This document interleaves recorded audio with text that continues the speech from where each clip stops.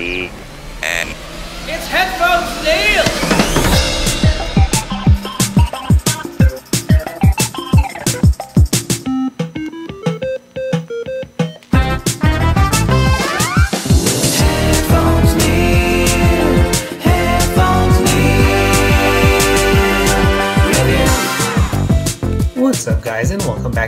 Headphones Neil Reviews. I'm your host, as always, Headphones Neil, bringing you my review for the latest batch of stuff that I've been watching and games I've been playing.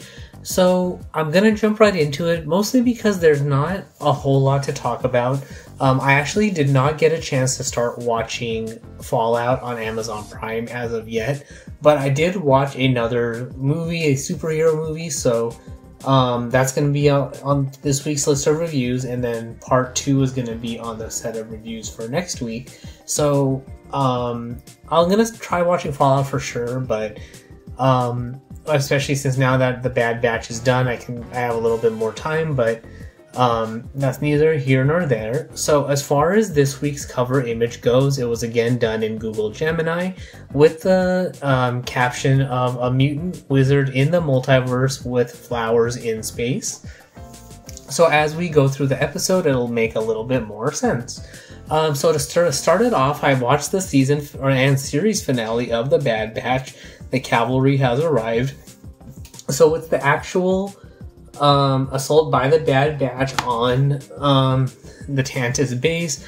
We have um, the main doctor guy try, um, trying to keep uh, maintain control and order and all that. And, and in the middle of all that, he gets a call by Governor Tarkin, who ends up showing up to find out what really is going on and try to salvage the situation. So it's kind of a two way battle by that um, doctor guy and then the lady who was overseeing the kids um, fi- ends up finding Echo and they end up working together to help the kids escape and help with the rescue plan. So, as far as it rescuing the kids and the clones go, so all in all, a very very packed episode. Um, in general, I did enjoy um, everything that happened because we see that Rampart learns about what Project Necromancer is. He wants. Um, and I'm gonna say Nala Se because I keep forgetting the one that um, Omega is friends with, but I guess she tells him about what Project Necromancer is, how that deals with the Emperor,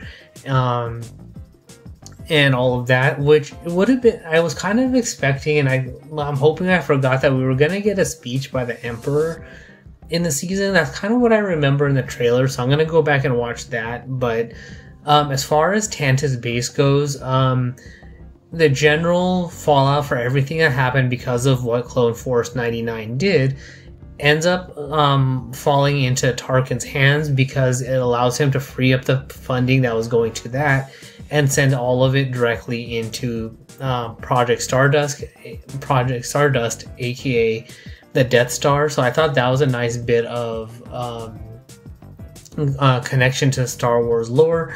Uh, we have the lady giving him the analysis that everyone has died, so that kind of gives the Bad Batch an out as far as going back into hiding and no one looking for them and Omega, so everything works out to how they wanted. It, um, it also lets them go into um, hiding and isolation, letting the clones go and live out their lives and all of that stuff. So, um, in general, I thought the episode was good. Uh, we also did have a bit of a fast forward, so um, Omega's a little bit old, uh, or Omega and Hunter are definitely older.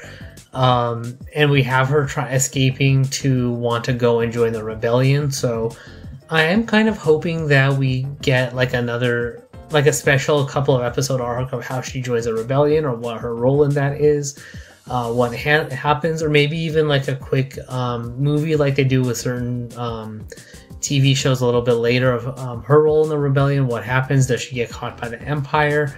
Um, and uh, or does she, you know, end up start getting um, chased after, kind of like a Jyn Erso storyline? Um, and basically, yeah, just whatever happens to her. So that was kind of the biggest downside for me is we don't really get too much on the flip side as far as um,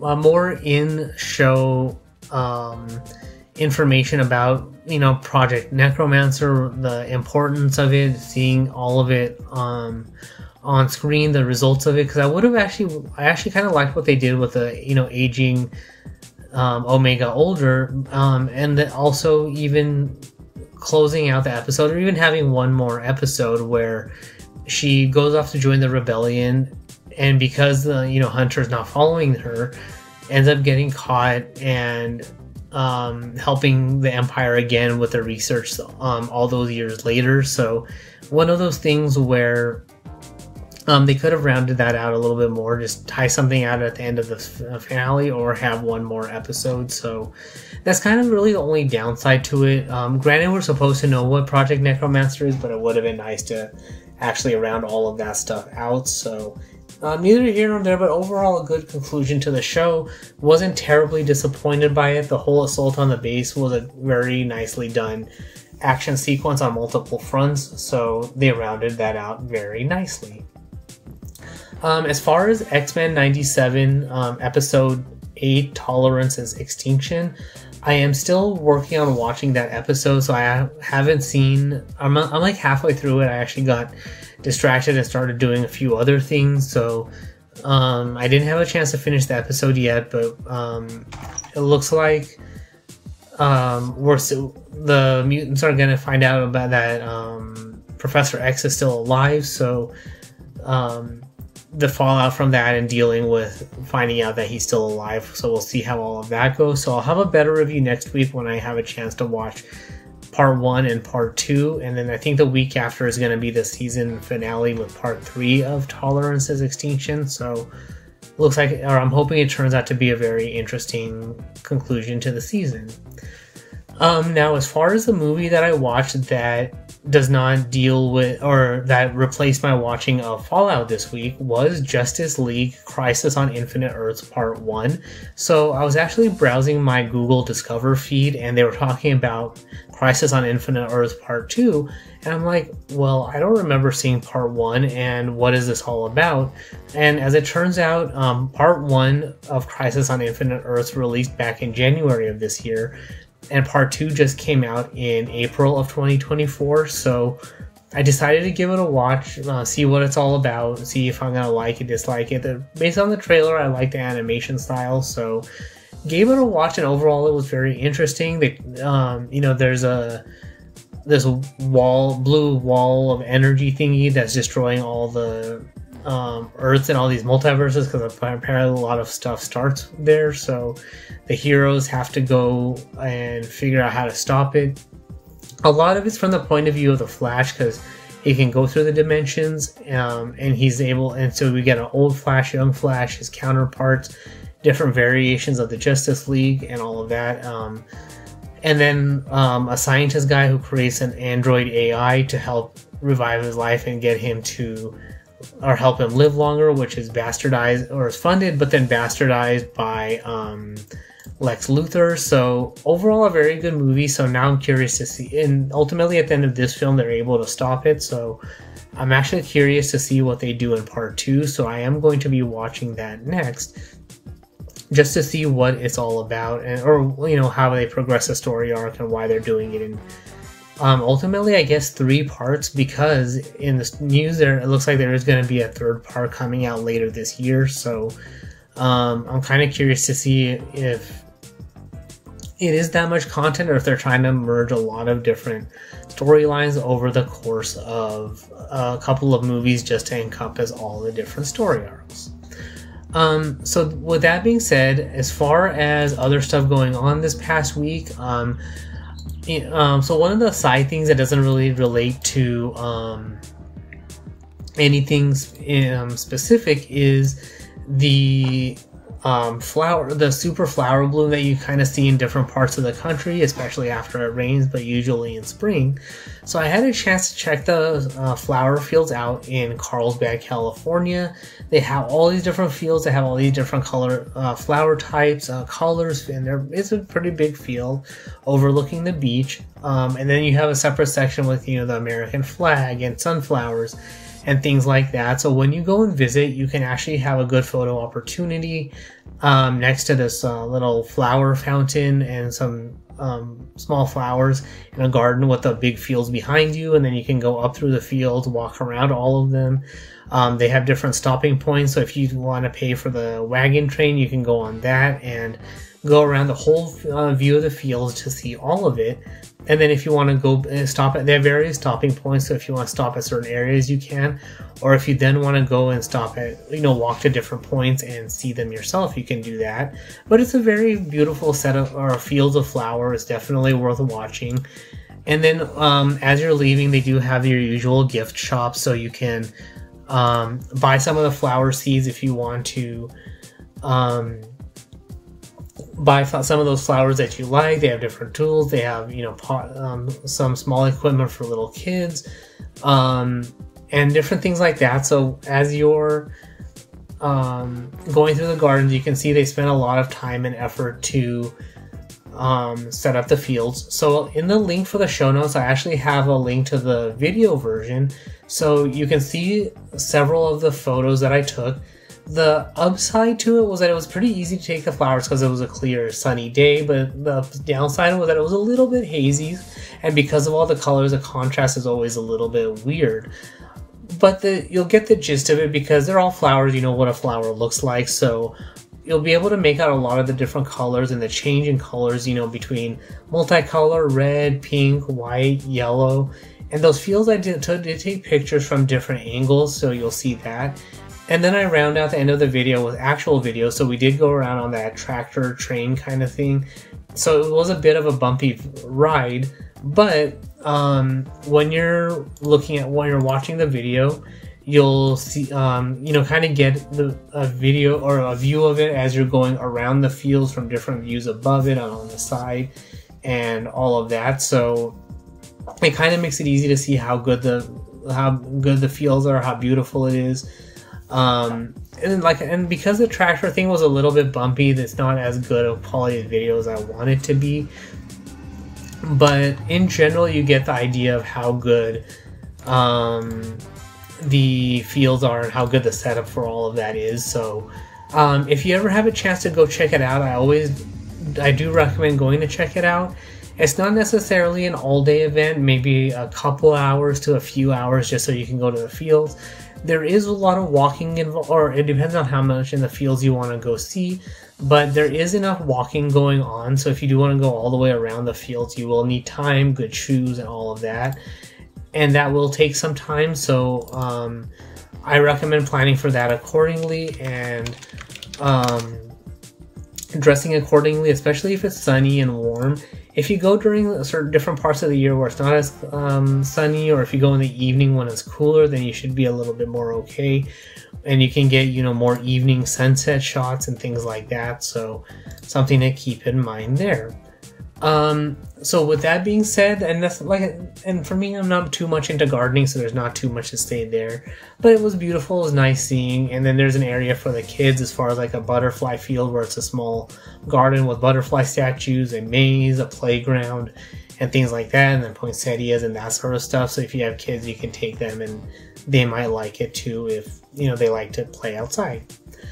Now, as far as the video game, um, updates go, I have started or I've continued my playthrough of Star Wars Knights of the Old Republic 2 The Sith Lords. So I'm done with Peragus and now I'm on Telos, uh, which reminds me that I do need to get put a status update for that as far as where I'm at in the game. So I'll pro- probably at some point during Telos I'll give an update, but um, I've escaped Peragus. Um, I'm on Telos, did the whole detention thing. I've gotten my equipment back.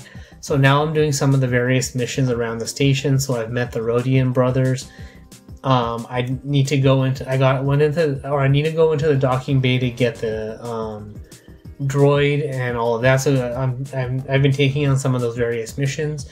But one of the things that hit, that hit me as I was playing the game was that um, Citadel Station is kind of like the uh, fully hashed out, expansive version of Yavin Station from Knights of the Old Republic One because one of the things when you're playing not KOTOR 1 is that you do have Yavin Station, but you, it feels like they had an extra planet or extra, you know, code and room in the game where they wanted to put something but couldn't hash it out. So Citadel Station is kind of that because you have a full-on station, you still have a Rodian shop, and as you're going through it, it's kind of it's very similarly matched but updated to have be a different enough.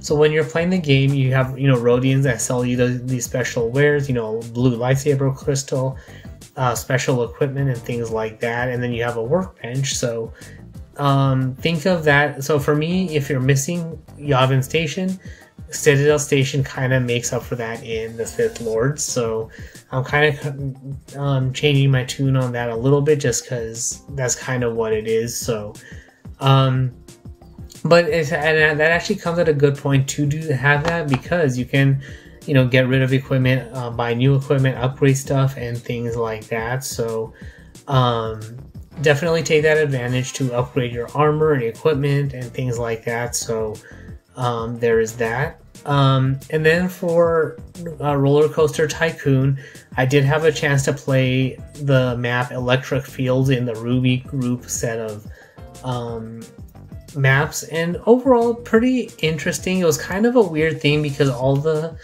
um, guests were afraid of um, scary roller coasters, so I had to, you know, make it uh, less make a few of the rides less scary so i can get more people in the parks and keep a good rating. So it worked out but i had to make simpler and simpler uh, roller coasters and i ended up maxing out the money i borrowed to do that but i was able to uh, um, accomplish the mission objectives so it was interesting enough so i'm going to move on to the um, next um, map but all in all it was a good uh, thing where it's like, all right, well, you're building a simple park. You're not really doing anything too crazy. So I guess a lot of the resources are related to um, building, I guess, a lot of smaller rides versus big scary rides. So you have more rides for people to join the um, park, or so more people come into the park and ride the ride, and you have bigger crowds and more fun that way. So